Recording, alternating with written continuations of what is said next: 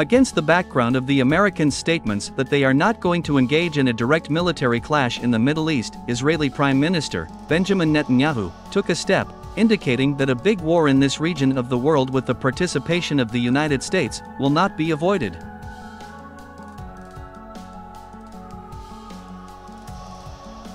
So, on Friday evening, during a press conference with U.S. Secretary of State Anthony Blinken, Prime Minister of Israel Benjamin Netanyahu made a very disturbing statement. In particular, he said that Israel will never forgive or forget the atrocities that have been committed against the Jewish people for decades. Moreover, the Israeli Prime Minister also added that at the moment, Israel's enemies get struck by unprecedented force, and that Israel's counteroffensive in Gaza is just the beginning.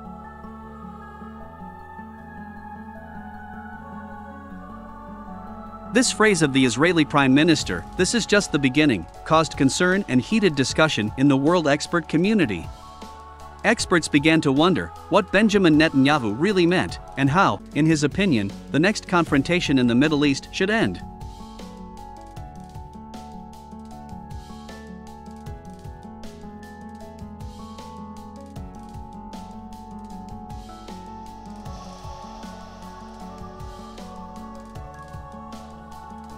My friends, in order to understand what the Israeli Prime Minister is up to, we need to pay attention to the war zone, including the northern border of Israel, where a large concentration of Hezbollah militants is recorded, ready to invade the territory of the Jewish state at any moment. It may seem to many of you that the opening of a second front in the north of the Jewish state is the worst scenario for Israel, and that the Israel Defense Forces will not be able to stop the well armed offensive units of Hezbollah, which are supported by Iran itself.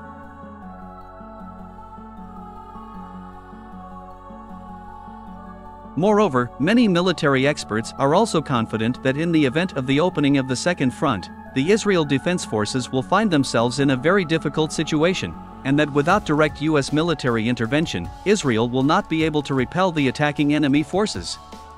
However, the last few days have shown that the Israeli authorities, led by Benjamin Netanyahu, are doing everything to provoke Hezbollah's invasion of the northern part of the Jewish state.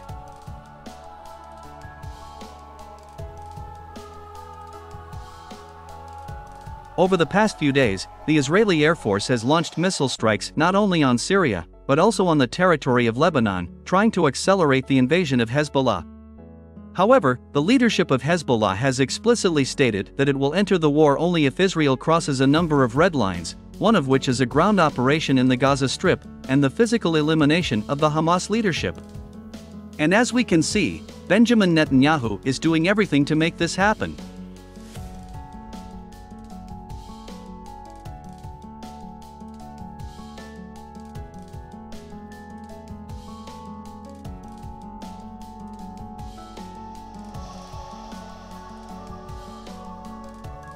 The Israeli Prime Minister not only began to prepare the Israeli Defense Forces for a ground operation in the Gaza Strip, but also ordered the Israeli military located in Ukraine to return immediately.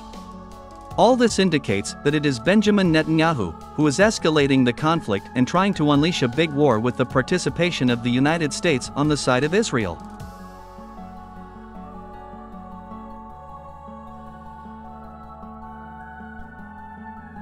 The fact is that Benjamin Netanyahu understands perfectly well that the United States can afford to lose Ukraine and even Taiwan.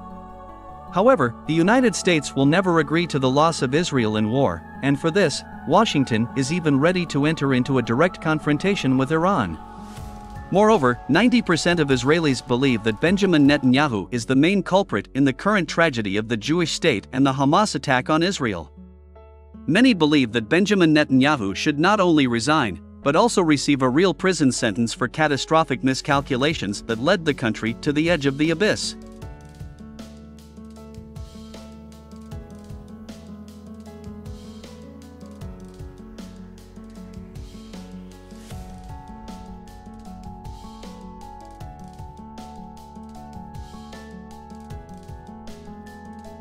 Thus, it becomes clear that it is the Prime Minister of Israel who benefits from the start of a big war in the Middle East, which should unite the Jewish people around the war hero and liberator, Benjamin Netanyahu, who, as the winner, will be forgiven for all his past miscalculations.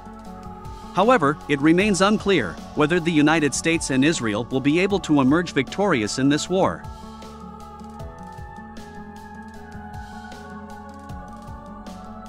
And it seems that Washington is also concerned about this issue, trying in every possible way to delay the start of Israel's ground operation in the Gaza Strip.